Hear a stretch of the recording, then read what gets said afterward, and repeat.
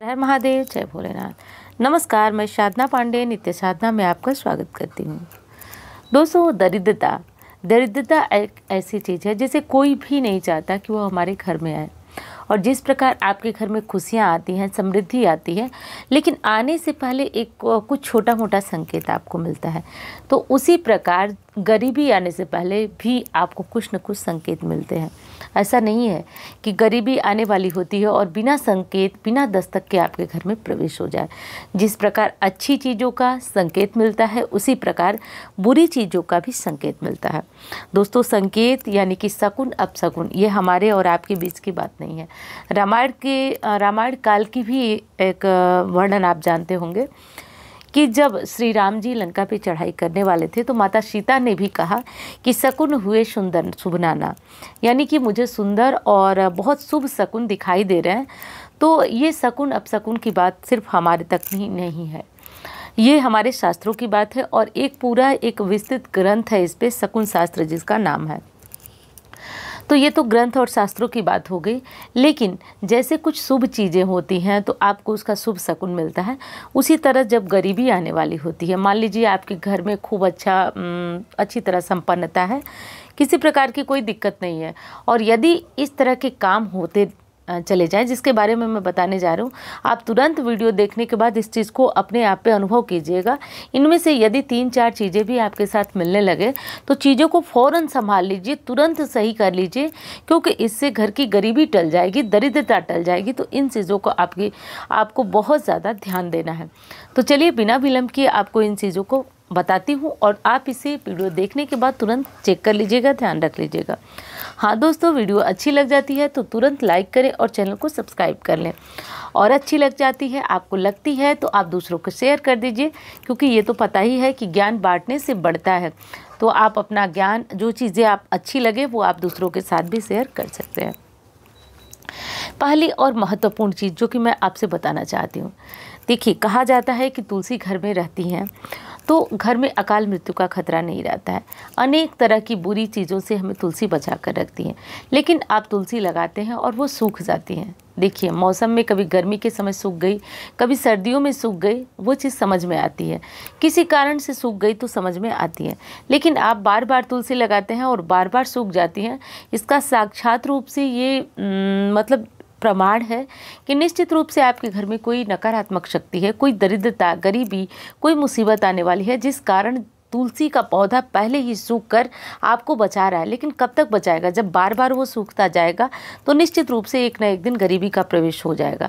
तो तुलसी सूखने के बाद तुरंत तुरंत जितनी बार सूख रही, आपको पुनः पुनः नई तुलसी लाकर अपने घर में लगाते रहना है।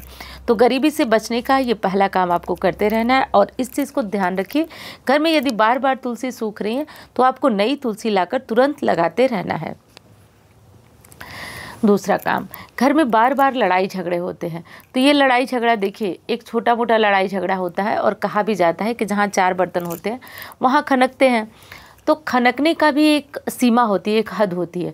अब सुबह सुबह, शाम सवेरे आपके घर में बार बार लड़ाई होती है तो ये चीज़ अच्छी नहीं है। निश्चित रूप से घर में कलह का वातावरण होने से तुरंत दरिद्रा का प्रवेश होता है।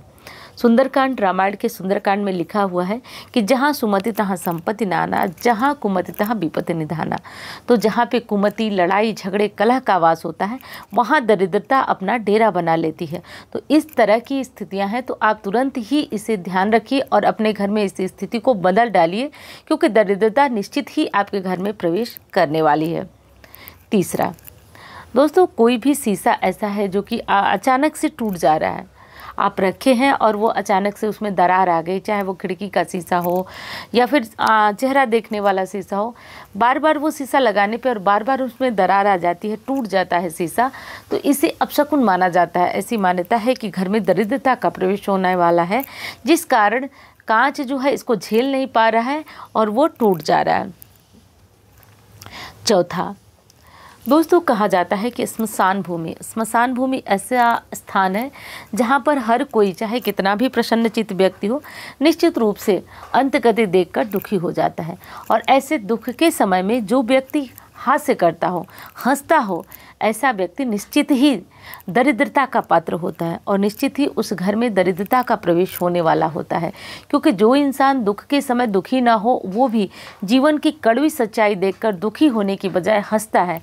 ऐसे व्यक्ति को निश्चित ही दरिद्रता प्रवेश कर जाती है। पांचवा कभी भी अपने आप से निर्बल व्यक्ति को, निर्धन व्यक्ति को या किसी भी चीज़ में हीन व्यक्ति को दबाना, परेशान करना बिल्कुल नहीं चाहिए।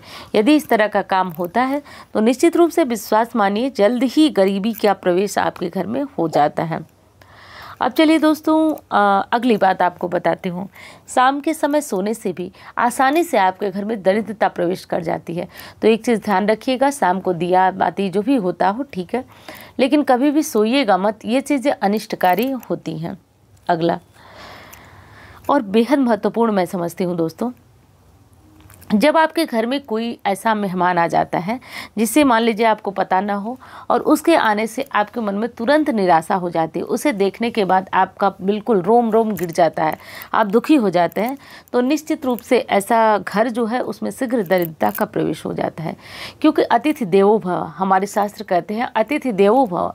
अतिथि यानी कि मेहमान देवताओं के समान होते हैं और जब देवता के आने पे आप रुष्ट होते हैं, नाराज़ होते हैं, दुखी होते हैं तो ऐसे घर में मानव नहीं, बल्कि दानव का प्रवेश हो जाता है। वहाँ के रहने वाले मानव नहीं, बल्कि दानव के समान हो जाते हैं।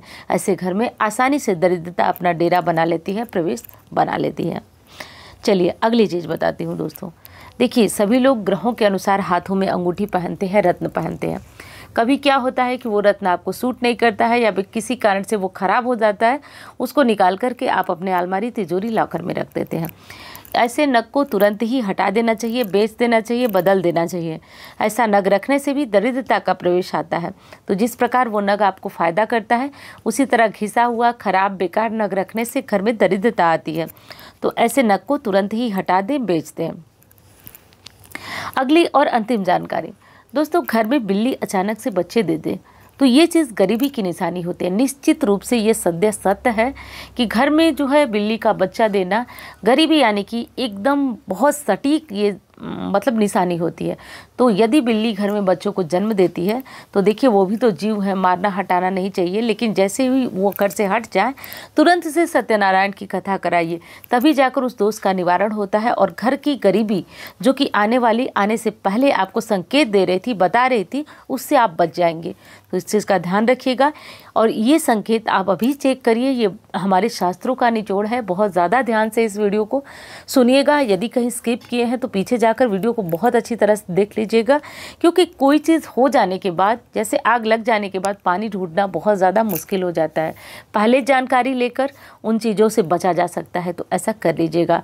अब वीडियो अच्छी लगे तो लाइक किया करें और चैनल को सब्सक्राइब कर लें। तो दोस्तों, मिलती हूँ इस तरह की वीडियो के साथ। तब तक भोलेनाथ का नाम लेते रहिए। हर हर महादेव।